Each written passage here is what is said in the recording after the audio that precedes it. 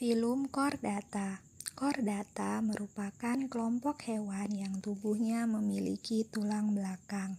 Terdapat tiga hal yang membedakan filum chordata dengan filum lainnya. Antara lain adalah notochord.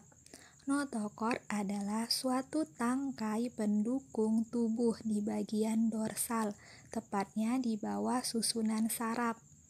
Pada hewan vertebrata, semua embrionya memiliki notochord. Filum chordata terbagi atas empat subfilum, yaitu Hemichordata, Urochordata, Cephalochordata, dan Vertebrata.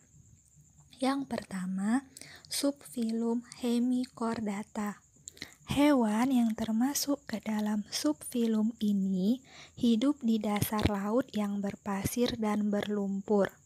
Bentuknya seperti cacing dengan belalai untuk melubangi lumpur atau pasir.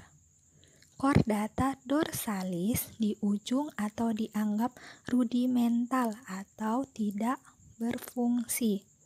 Contohnya dari subfilum ini adalah Blanoglossus sp. Yang kedua, subfilum Urochordata. Hewan ini habitatnya di laut. Ada yang bebas dan ada yang melekat atau sesil. Korda dorsalis lenyap pada masa perkembangan larva. Ada yang hidup soliter dan ada pula yang hidup berkoloni. Contohnya Molgula sp. Yang ketiga, subfilum Cephalochordata. Hewan yang termasuk ke dalam subfilum ini hidup di laut dan dapat berenang bebas. Tubuhnya agak transparan, berkembang biak secara eksternal. Korda dorsalis tampak jelas hingga dewasa, serta mempunyai celah insang.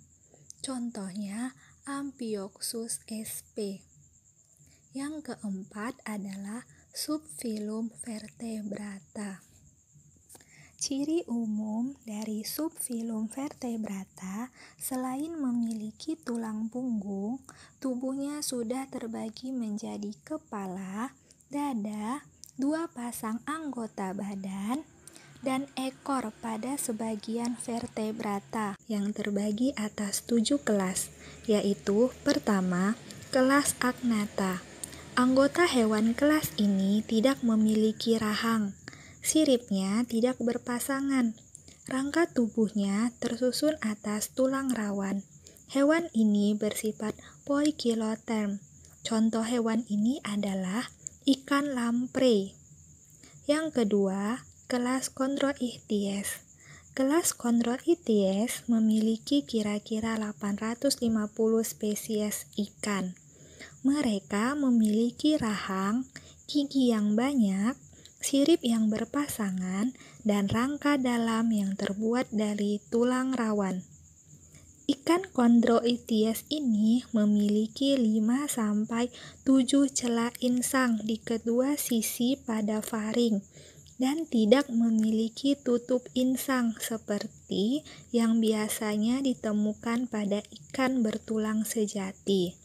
Contoh hewan ini adalah ikan pari dan ikan hiu. Yang ketiga, kelas Ochtiichthyes.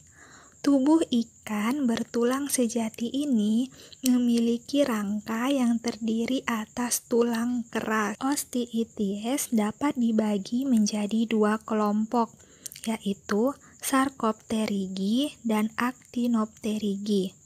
Spesies yang paling banyak pada ikan kelas Osteichthyes ini adalah ikan Actinopterigi. Contoh spesies ini adalah lele dan ikan mas.